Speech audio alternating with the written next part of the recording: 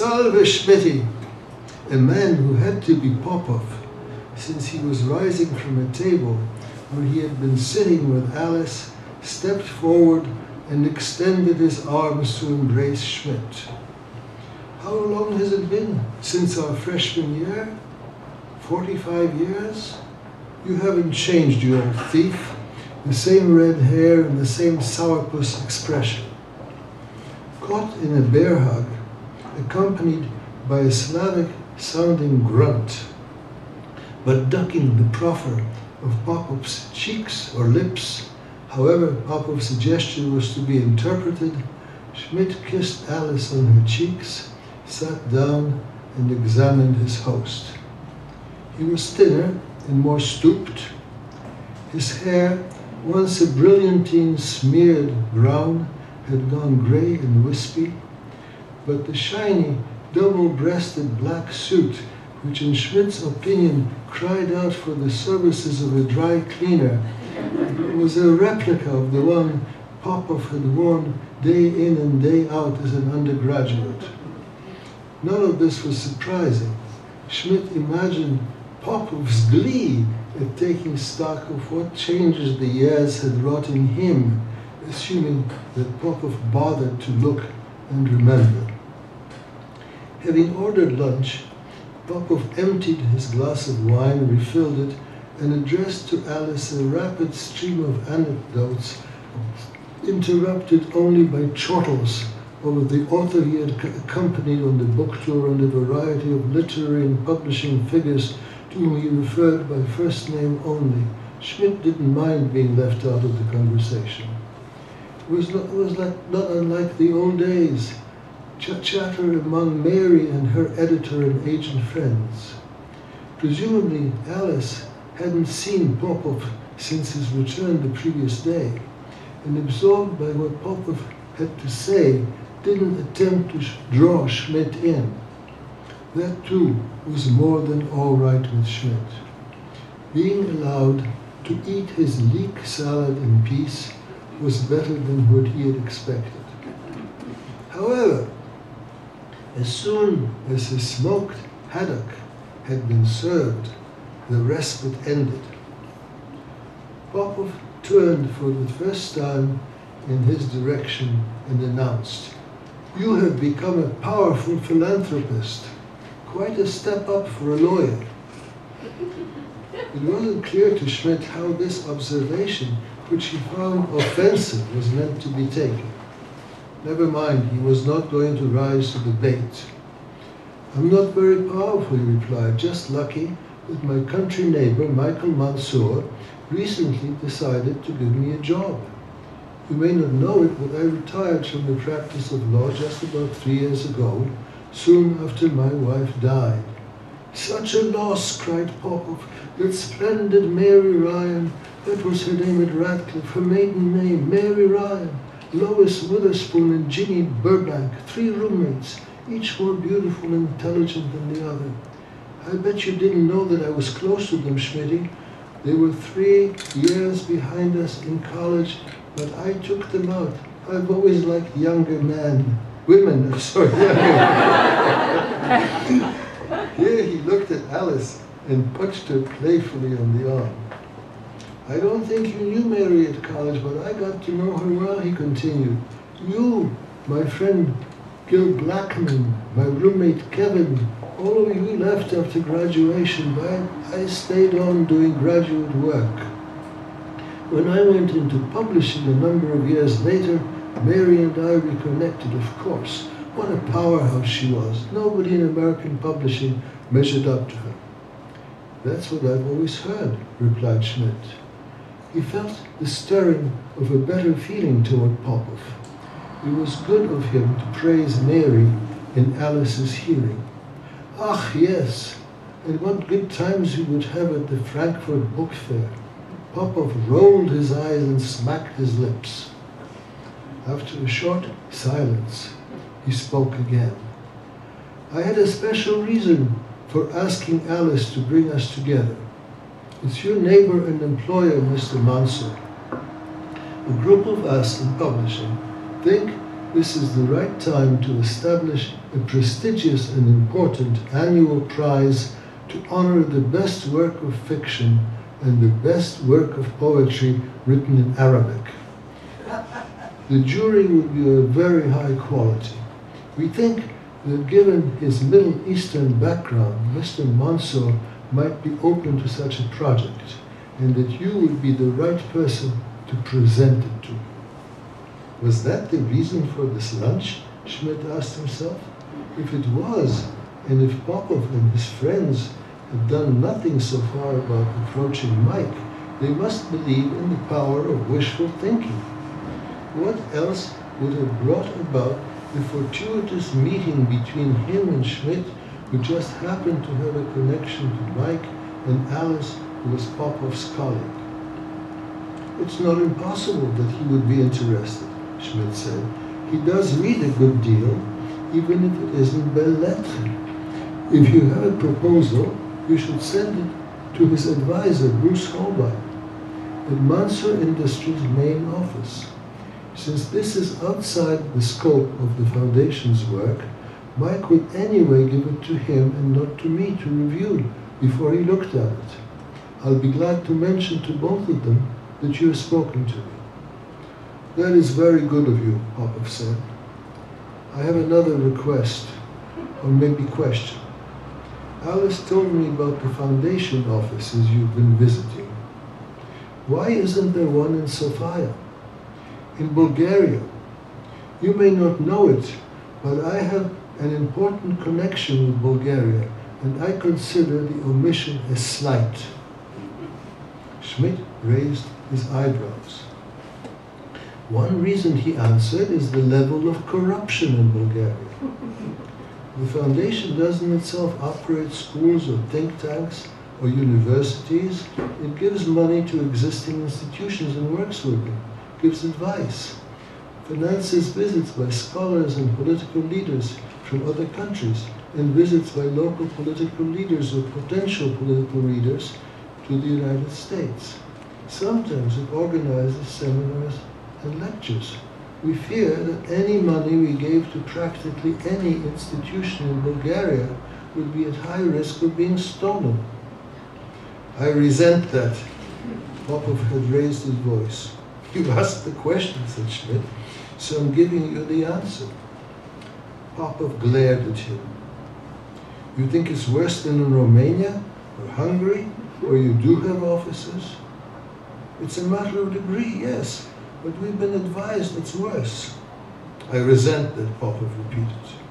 Schmidt noticed Alice's hand on Popov's sleeve. If she meant to restrain him, she didn't succeed. You may be ignorant of my personal saga, Popov continued. All I know is that you were born in Bulgaria and at some point during the war or later became a refugee, a displaced person of sorts. You are very ignorant, Popov declared. My father was the last minister of justice serving Tsar Boris III the heroic ruler murdered by Germans because he wouldn't let them send Bulgarian Jews to Auschwitz. My father's father was, until he died, His Majesty's court chamberlain. My grandfather died of old age in his own palace, but my father was murdered by the communists, along with the Tsar's brother, Prince Kirill, and other members of the Regency Council and other high patriots I had the good fortune to be taken into exile by Her Majesty the Tsarina. My education at boarding school and at Harvard was graciously paid from, from their imperial purse. I am on terms of personal friendship with Tsar Simeon II. He is younger than I, but we have known each other since early childhood. I find your discrimination against the country of my birth intolerable. He took on a gloomy and superior expression that took Schmidt back to the occasions, fortunately infrequent, when Popov would suddenly appear in the suite that Schmidt and Gil Blackman shared at college and jump into whatever discussion of politics and modern European history happened to be taking place. The accent when he spoke English had remained almost the same, an element in it of something unidentifiable but Slavic. And now that he lived in France and presumably spoke French much of the time, and a mixture of something Gallic. The gurgling that accompanied the flights of eloquence, ire or hilarity, hadn't changed either. That is very grand, of course, and a very sad story, replied Schmidt. I can only hope that your Bulgarian connections make it possible for you to help bring better government to your country, now that it's no longer under communist rule. There is more of my story that you don't know, or you would not be suggesting so blithely that I immerse myself in Bulgarian politics. That had been my hope at college and graduate school and also when I became the editor of Currents. I don't suppose you were a reader of that journal. Schmidt confirmed that unfortunately he was. I'm not surprised. Then you don't know the defining effect that seminal journal on political thought and intellectual milieus in the US and Western Europe.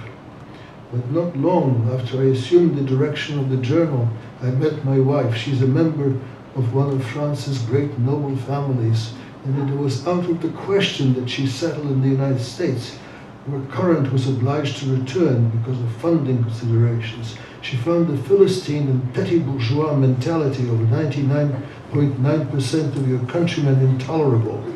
The form of mentality I'm forced to add that I too could tolerate less and less. So it happened that I entered the world of publishing in France, where you now find me. We were, alas, soon brought low by fate in a way that further reduced my availability for service to my country. My wife was among the last victims of a polio epidemic. Tanny Le Clercq was stricken in 1956, my Solange even later in 59, soon after the birth of our second boy, paralyzed from the waist down. I am deeply sorry, said Schmidt. Popov made a snorting noise. Yes, of course, now that we have disagreed about Bulgaria, and I, you have seen how you have misjudged my position, you will be hostile to the proposal for the Middle Eastern Literature Prize. Far from it, said Schmidt. There are persistent themes in history, Popov continued. History of men and of nations resentments play their role. Wilhelm II, Churchill, de Gaulle. I too have been accustomed to being resented. At school and then at college. Don't try to deny it. I carried my head too high. I was too fully conscious of my real position, so far superior to what it appeared to be. He sank into even greater gloom. Alice who had remained silent until then, spoke up. We really must go now. She called the waiter, and to Schmidt's surprise, paid the check. It had been clearly stated that it was Popov who was inviting Alice and him to lunch, that he refrained from protesting. They parted in the street, going in different directions. Schmidt, first with the store on the Rue de l'Université, in the window of which he had seen a layette that might just do as a baby present for little Albert. And then to the shirt maker on Place Vendôme, where he thought he might buy a necktie or two for big Albert, he whispered. He had not covered more than a few yards, however, before looking back. He wanted to see Alice once more, even if it was only for a fleeting moment. He did see her.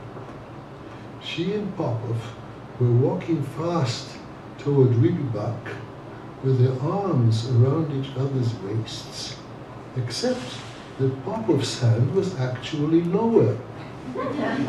he was patting Alice on her bottom, investigating through her summer dress the valley between her buttocks.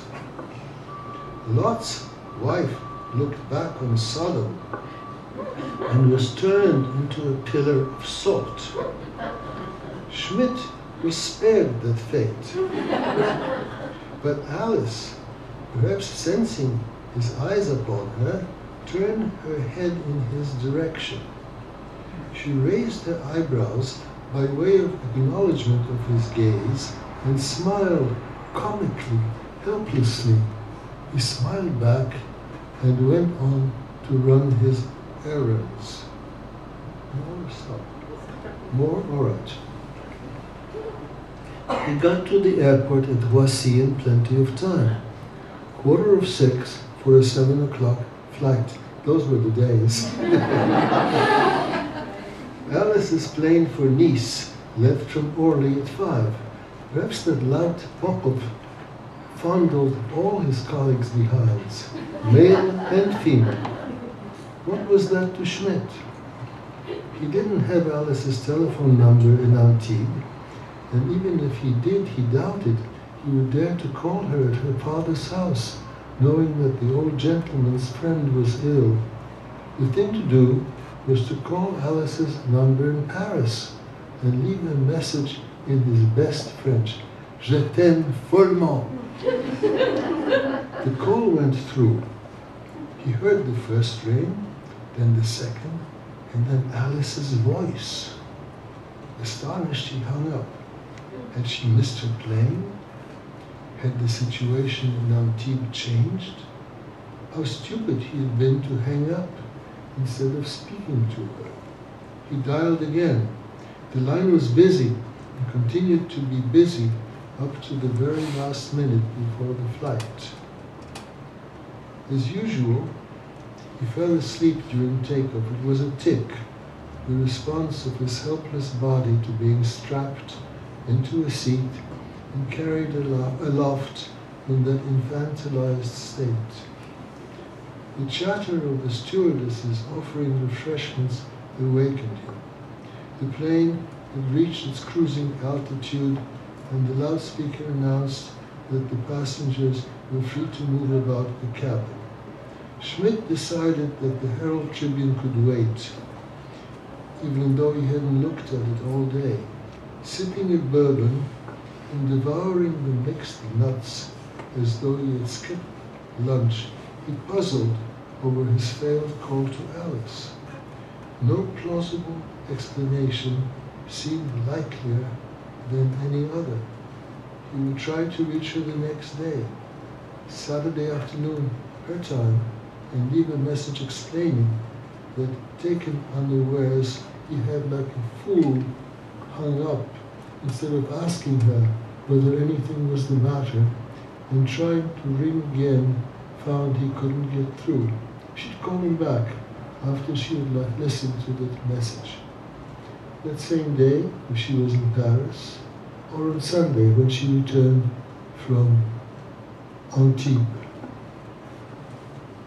Against his will, his thoughts turned to the interlude with Pani Danuta, that's the lady with whom he had a little fling in Warsaw.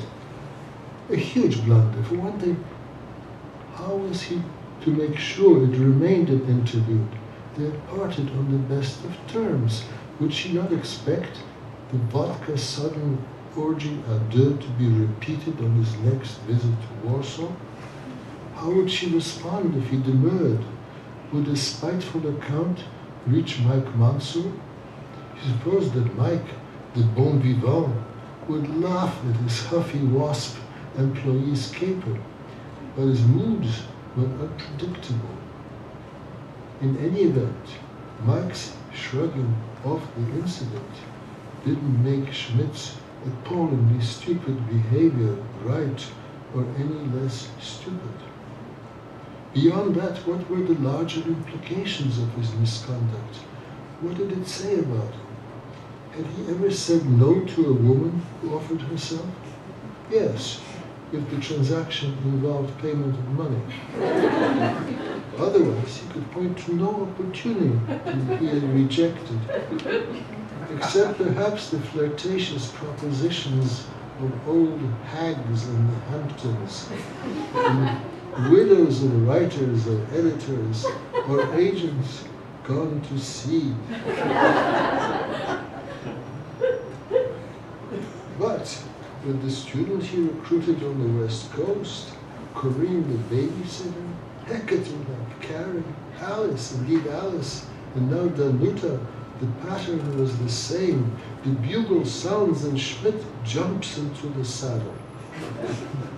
was it because he was too unsure of himself to risk taking the first step that a woman's making herself available made him lose his head? Or was it simply his unabated appetite for sex with new partners, a curiosity he hadn't outgrown?